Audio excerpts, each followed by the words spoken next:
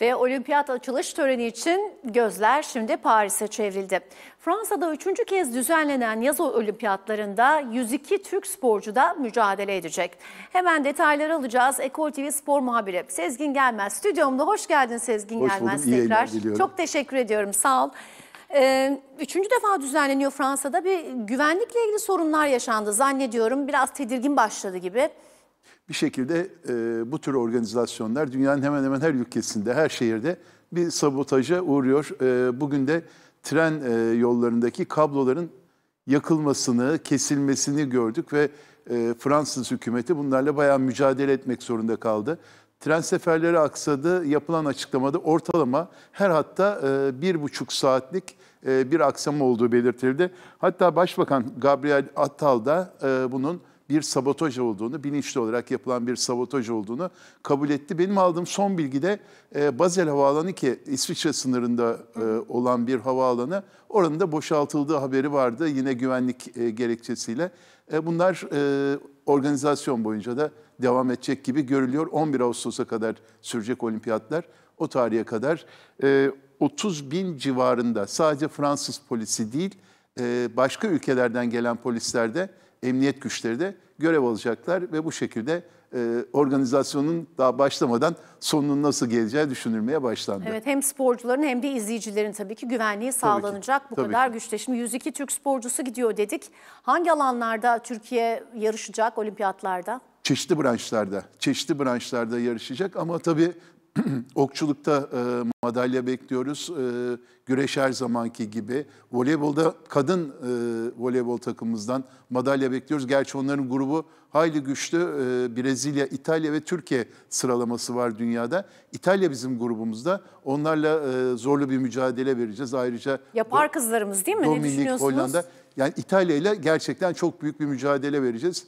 Ee, Onları geçtiğimiz takdirde ben altın madalyanın orada geleceğine inanıyorum.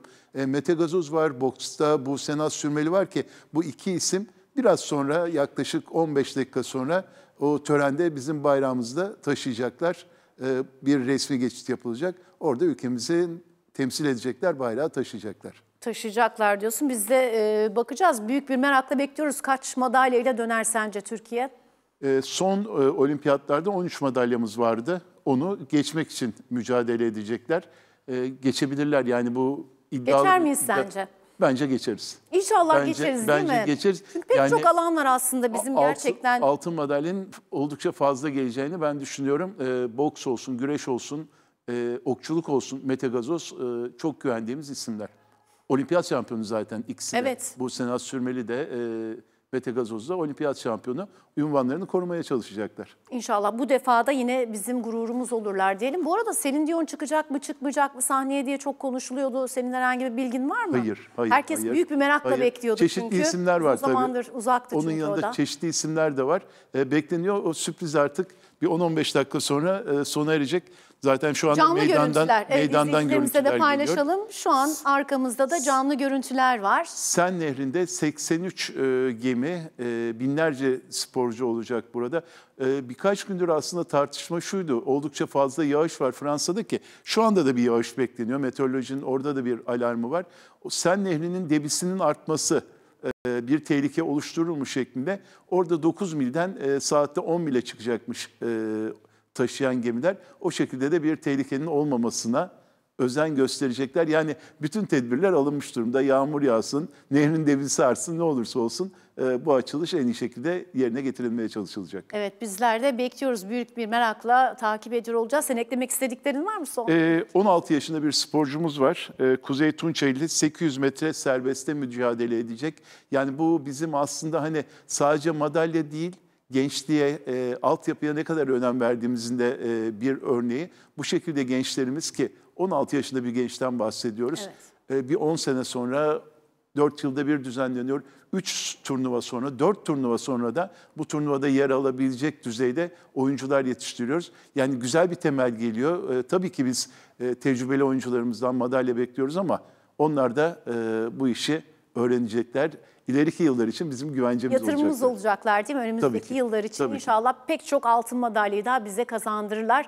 Ben tüm sporcularımıza tüm kalbimle başarılar diliyorum olimpiyatlarda. Ne olursa olsun ülkemiz e, başarıyı hak ediyor, insanımız başarıyı hak ediyor. Bugün nerede olursa olsun gelecek bir madalya e, çok daha farklı, moralli olarak bize sokağa çıkaracak, günlerimizi o şekilde geçirecek. Şimdiden hepsini tebrik ederim ve başarı dileyelim. Çok teşekkürler. Önce futboldu, şimdi olimpiyatları bir süre konuşacağız seninle de değil mi? Futbola çok az kaldı. 3 Ağustos'u bekliyoruz Süper Kupa finali. 9'unda ligler başlıyor, Süper Lig başlıyor.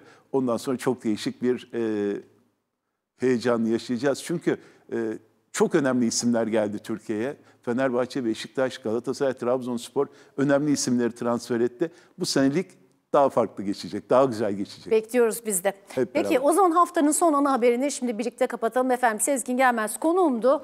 Türkiye'nin ve dünya gündeminin biz öne çıkan başlıklarını aktardık sizlere. Haftanın son yayınında burada noktalıyoruz.